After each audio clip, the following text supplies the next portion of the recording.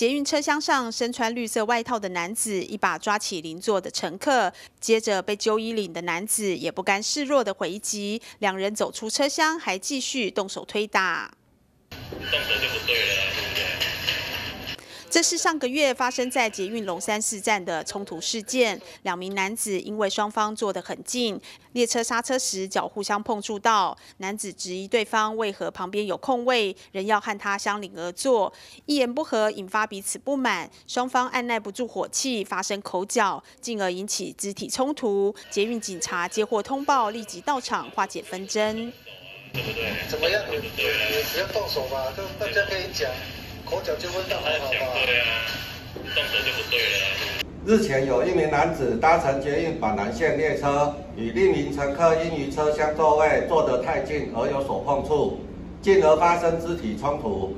捷警接获通报，立即到场调解纠纷，及时化解冲突，幸未有危害事件发生。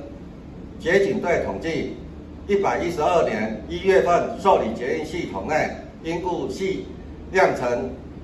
纠纷案件总计二十五件，其中碰撞纠纷有九件，占纠纷案件百分之三十六。捷警队呼吁，捷运系统人潮拥挤，难免发生碰撞，旅客搭乘捷运系统应平心静气，遇事一时务必冷静面对。如发生争执或危险，可立即按下车厢门边红色紧急按钮，捷警立即赶赴现场处理。经警方现场调解，小以大意，并告知相关法律权益，双方皆冷静下来，表示不愿追究，最后互相致歉后离去，所幸未波及其他乘客。记者林启慧台北报道。